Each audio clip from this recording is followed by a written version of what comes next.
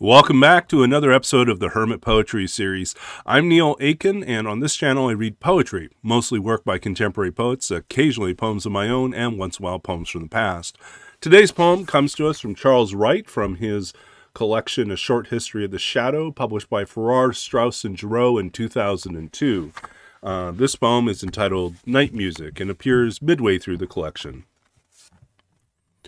I think of the nightfall all the time. I think of the dark pine trees leaning out of the sky, backlit by diminishing twilight, then not backlit.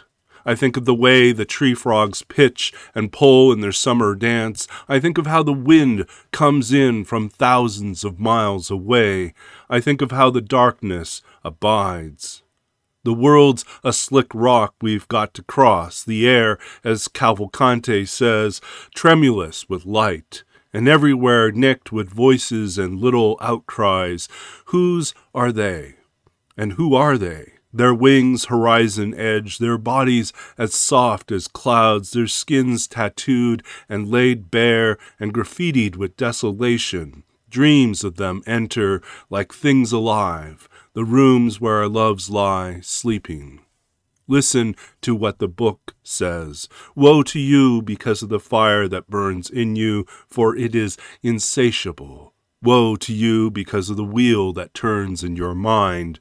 This is the way the night comes on, a narrow and shapeless place, a few rehearsals among the insects, a few stars, the thing invisible brought to naught and back among visible things. This is the way all it all ends. Um, and that was Night Music um, by Charles Wright from A Short History of the Shadow, Farrar, Straus, and Giroux, 2002. Um, if you enjoyed this reading and this poem, please do check out the description of the video for more information about the poet Charles Wright, as well as where to purchase a copy of the book for yourself. Um, there's also information about this series and about other projects that I'm currently working on. And so feel free to read. Feel free to comment below if you would like to recommend your own poems or poets that you, you think that uh, might, well, let's see, if there are books out there that you think I should focus on or particular poems um, that have been published that you think should be highlighted, feel free to let me know, uh, either in the comments or directly email me um, should you wish.